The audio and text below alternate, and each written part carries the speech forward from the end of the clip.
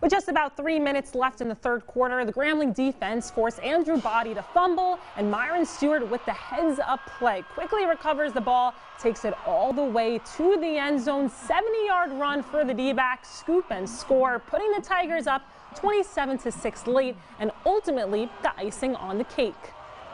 But we had to create the turnover. But at that time, when I seen the ball, I seen my opportunity my chance, and I take my chances. It just it was amazing. Just amazing opportunity. Just to see the joy of my teammates, how they just collaborate. I just love it. Like it's just the love we have, the chemistry, just the love for the game and for each other we have. I like to see that.